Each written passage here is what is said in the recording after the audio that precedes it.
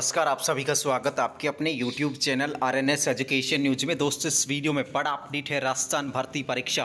तो दोस्तों, आखिरकार राजस्थान कर्मचारी चयन बोर्ड ने आधिकारिक ऐलान कर दिया है और उस ऐलान के तहत सत्रह भर्तियों की जो परीक्षा तिथि है, वो घोषित कर दी गई है। जी हाँ दोस्तों, जो कसमकस चल रहा था पिछले एक डेढ़ महीने से कि आखिर जो सितंबर और अक्टूबर में जो भर्ती परीक्षाएँ आयोजित होनी है, वो कब आयोजित होंगी, उसके लिए लगातार हमने आप लोगों को जानकारी दी और हमने हमने टेलीग्राम चैनल पर पोस्ट भी किया था और आपको एक वीडियो में भी जानकारी दी थी कि अगले सप्ताह तक है, संशोधित जो परीक्षा कैलेंडर है वो आएगा। सबसे बुरी बात तो ये है कि इन भर्तियों की जो परीक्षा तिथि है नेक्स्ट ईयर में जा चुकी है। यानी कि सीधे तौर पर कहें तो चार महीने जो है, अब कोई भी जो एग्ज़ाम है सितंबर अक्टूबर नवंबर और दिसंबर पूरे पूरे चार महीने कोई भी भर्ती परीक्षा इन सत्रह भर्तियों की नहीं होने वाली है। हालाँकि इन सत्रह भर्तियों की हम बात करें तो इसमें से काफ़ी ऐसी विज्ञप्तियाँ हैं जो अब तक जारी नहीं की गई हैं।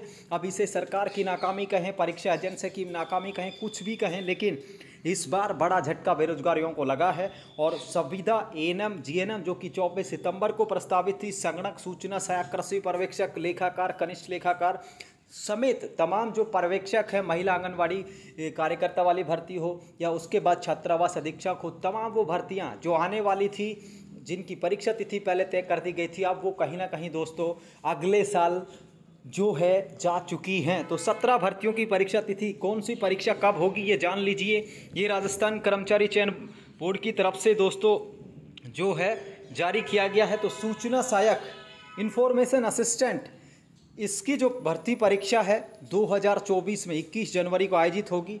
संविदा एएनएम और जीएनएम की हम बात करें तो तीन फरवरी को जीएनएम की भर्ती परीक्षा होगी मॉर्निंग शिफ्ट में और शाम की पारी में तीन फरवरी 2024 को एएनएम की भर्ती परीक्षा होगी। कृषि पर्यवेक्षक की बात करें तो इसकी चार फरवरी 2024 को एग्ज़ाम होगी। लेखाकार और तहसील राजस्व लेखाकार अर्थात टीआरए की जो है ग्यारह फरवरी दो हज़ार चौबीस, संगणक की जो भर्ती परीक्षा है, तीन मार्च 2024 को होगी।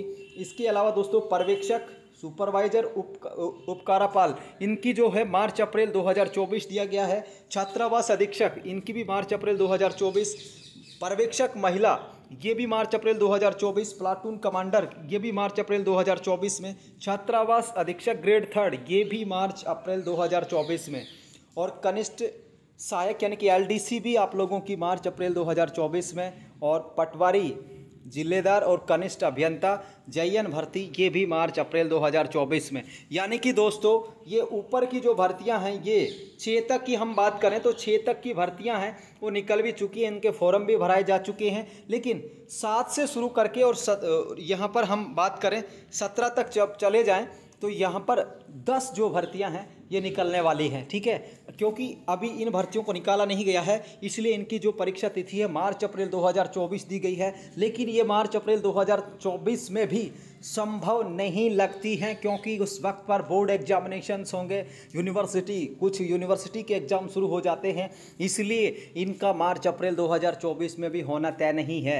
ठीक है, बिल्कुल यहाँ पर क्लियर कट बात ये है दोस्तों, ये छः भर्तियाँ संगणक तक की हम बात करें, ये आप लोगों की निश्चित टाइमिंग पर हो जाएँगी, इक्कीस जनवरी को सूचना सहायक, तीन फरवरी को जी एन एम और कृषि पर्यवेक्षक चार फरवरी को, लेखाकार टीआरए की ग्यारह फरवरी को और संगणक की तीन मार्च को। उसके बाद की भर्ती परीक्षाएँ, हालाँकि बोर्ड ने मार्च अप्रैल 2024 कहा है, लेकिन उस वक्त पर बोर्ड की एग्जामिनेशन चलती हैं। तो उन दिनों सेंटर्स मिलना बड़ी चुनौती होगी, बड़ी कठिनाई होगी। संभवतः ये भी आगे जा सकती हैं, लेकिन अभी आप लोगों को सिर्फ़ इतना कहूँगा कि ये जो छः भर्तियाँ हैं, ये निकाली जा चुकी हैं, इनके फॉर्म भी भरे जा चुके हैं, इनकी सब कुछ पूरा हो चुका है। बाकी ये टेंथ जो भर्तियाँ, दस जो भर्तियाँ हैं, ये दस ग्यारह जो भर्तियाँ हैं, ये निकलने वाली है साथियों, ठीक है? तो ये पूरी कहानी है इन भर्तियों के एग्जामिनेशन कैलेंडर को लेकर के, और ये बिल्कुल ऑफिशियल अपडेट है, कहीं से कोई फेक जानकारी नहीं है, और जैसा कि हमने पहले प्रेडिक्ट किया था कि सारी की सारी जो भर्ती परीक्षाएँ हैं, उनका संशोधित जो परीक्षा कैलेंडर है, वो यहाँ पर जारी किया जाएगा, जारी हो चुका है।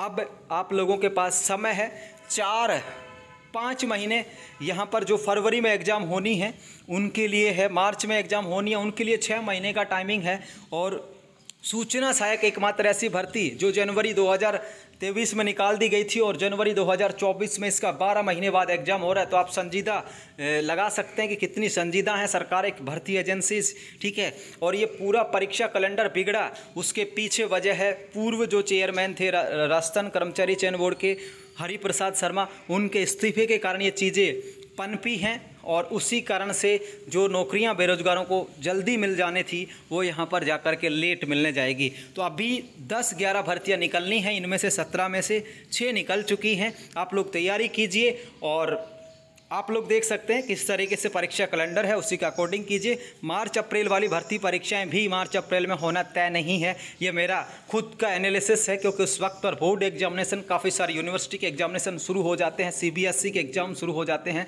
तो उस टाइम पर सेंटर्स मिलना बड़ी चुनौती होगी, लेकिन फिर भी समय बताएगा कि मार्च, अप्रैल में जो परीक्षाएँ इन्होंने तय की है, वो होंगी या नहीं होंगी, लेकिन उससे पहले की जो छः भर्ती परीक्षाएँ हैं, वो बिल्कुल तय समय पर होंगी। इसलिए आप लोग अपनी तैयारी करते रहिए। धन्यवाद दोस्तों, फ़िलहाल के लिए इस वीडियो में इतना ही। ये जो कैलेंडर है, आपको हमारे टेलीग्राम चैनल पर मिल जाएगा। लिंक डिस्क्रिप्शन में दिया गया है। जय हिंद दोस्तों, जय भारत।